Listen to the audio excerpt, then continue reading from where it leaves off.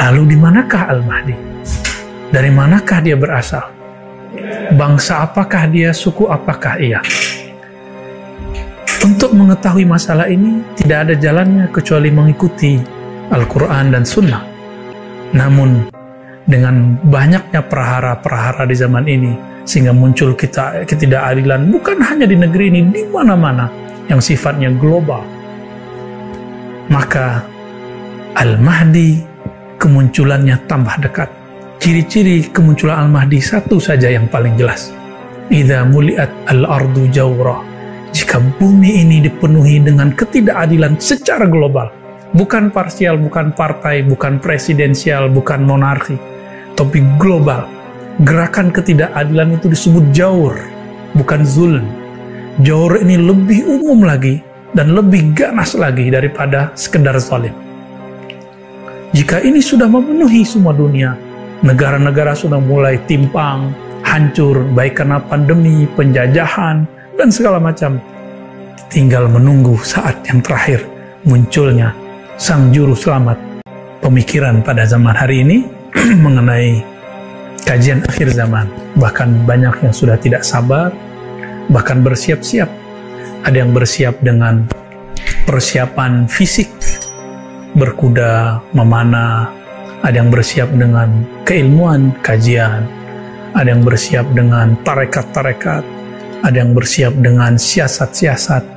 Semuanya sedang rindu menunggui Al-Mahdi. Karena ditunggu-tunggu, maka muncullah istilah, yang istilah ini dipakai oleh ulama al-sunnah dan syiah, yaitu Al-Muntazar, Al-Mahdi yang ditunggu-tunggu. Maka istilah ini bukanlah istilah satu kelompok, tapi dipakai oleh semua kelompok. Dalam ajaran lain, ajaran selain agama Islam yang dibawa Nabi Muhammad, ajaran yang dibawa Nabi Musa, yang bagi kita juga disebut Islam, tapi syariat Nabi Musa, Nabi Isa, juga sama, mengajarkan tentang adanya Mesia, Juru Selamat. Di Jawa ada keyakinan Ratu Adil, uh, Satria Piningit, dan selain sebagainya. Semuanya melulukan juru selamat dalam agama apa saja yang memang dulu mungkin bersumber dari Allah pasti mengajarkan hal yang sama.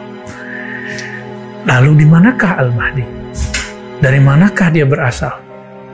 Bangsa apakah dia? Suku apakah ia? Untuk mengetahui masalah ini, tidak ada jalannya kecuali mengikuti Al-Quran dan Sunnah. Di dalam Al-Quran, tidak disebutkan secara eksplisit, tetapi kita beruntung umat Islam mempunyai satu keilmuan sumber keilmuan kedua yaitu as-sunnah. Yang paling apik membahas ini adalah dua imam. Imam Abu Daud dan Imam Al-Hakim.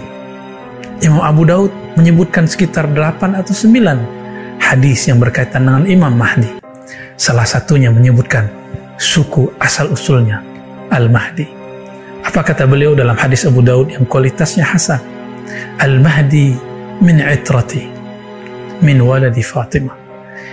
Al-Mahdi imam yang digaidan Allah itu dia dari terahku. Itrati bahasa Arab menjadi bahasa kita itu terah. Terah artinya darah dagingku. Min waladi Fatimah dari keturunan Fatimah.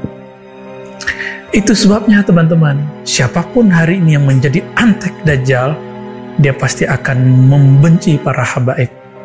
Dia akan membenci para sayyid, para syarifah, orang-orang yang merupakan pemilik terah-terah kenabian.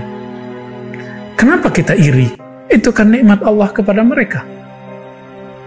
Kenapa kita iri jika mereka terlahir sebagai syarif, sayyid, lalu kemudian meragukan keberadaan mereka? Padahal hadis Imam Muslim menyebutkan aku tinggalkan kepada kamu dua sakalain, dua sakal, dua beban yang berat. Kitab Allah dan yang kedua ahlu baitku. Hadis Imam Tirmizi juga menyebutkan, ya ahlu baiti, itarati. Taraktu fikum sakalain. Aku tinggalkan kamu dua sakal, dua beban yang berat, dua wasiat yang berat. Kitab Allah dan itrahku. Terah Nabi itu terbagi dua. Ada terah ruhani, inilah ulama pewaris para nabi. Ada terah jasmani, Inilah para habaib dan syarif. Maka kita menghormati ulama pewaris ilmunya Nabi. Begitu juga kita menghormati para syarif, para sayyid, para habaib.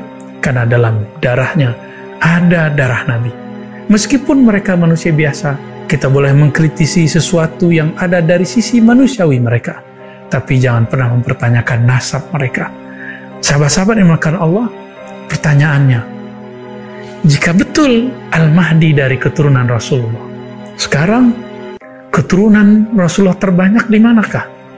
Inilah yang akan kabar gembira tapi sekaligus menakutkan bagi saya. Mungkin bagi teman-teman juga. Jika kita lihat hari ini dan tanya kepada para ahli nasab, tentunya nasab keturunan Rasulullah, karena ilmu ini fan khusus, ilmu ini berjilid-jilid kitabnya. Maka orang-orang yang tidak mengerti nasab Nabi, uskut, diam saja, karena ilmu ini ditulis berjilid-jilid. Saya pun tidak khatam membacanya, karena banyak sekali nama dan fam-fam yang sulit kita hafalkan. Kalau tidak mengerti, jangan berkalam. Imam Ghazali mengatakan, "Idza sakatal jahil, intahal khilaf." Jika orang jahil diam, tentu selesailah semua perbedaan.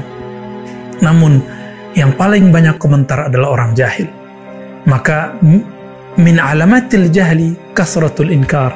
Ciri-ciri orang jahil banyak ingkarnya. Sahabat-sahabat makan Allah, para ahli nasab ada dari kalangan ahli Rabitah, dari kalangan keturunan Sayyidina Al-Husain, ataupun dari kalangan Sayyidina Al-Hasan. Mereka hampir semua sepakat.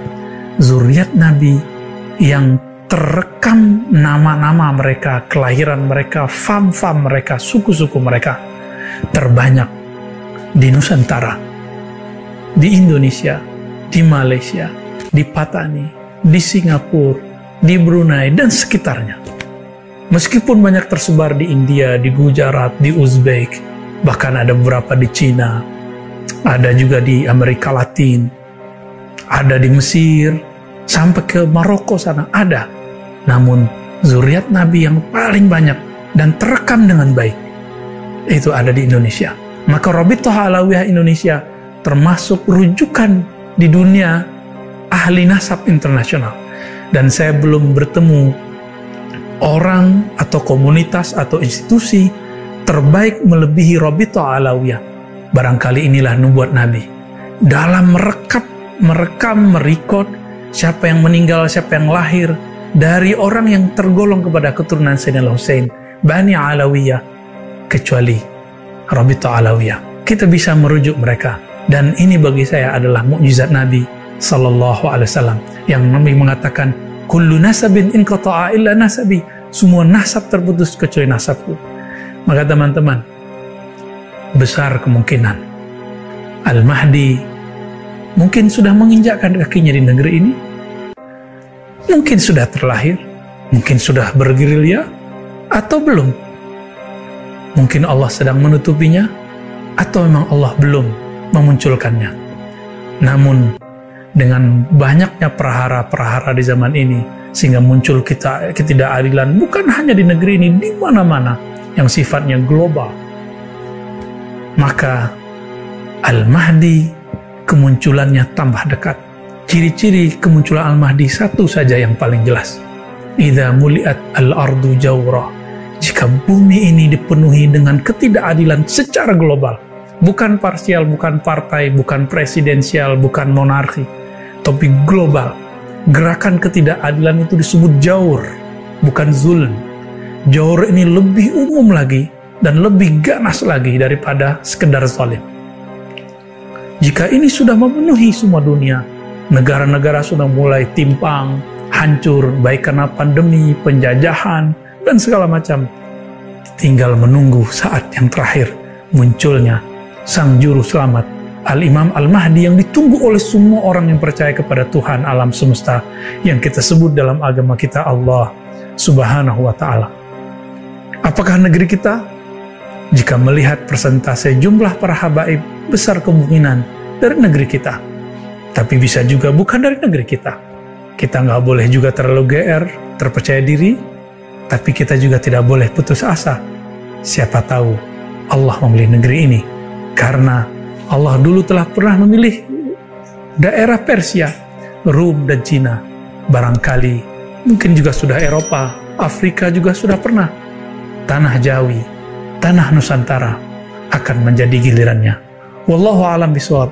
Mari bersiap, pantaskan diri menjadi pengikutnya. Wassalamualaikum warahmatullahi wabarakatuh. السلام عليكم ورحمة الله وبركاته.